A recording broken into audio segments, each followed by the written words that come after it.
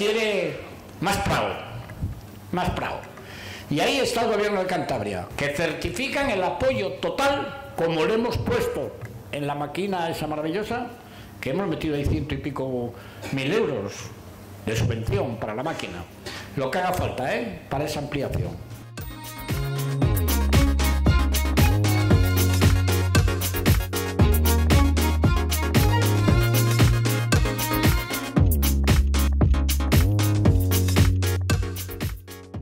Y los empresarios van donde ven que hay lugares cómodos para producir y trasladar las mercancías a otros sitios. Y ahora estamos con la reivindicación, una vez que damos por hecho que este ya está en marcha, donde espero que se adjudique ya muy pronto la doble vía hasta Torlavega y empiecen a adjudicar desde Palencia para acá, con la conexión a Bilbao. Importantísima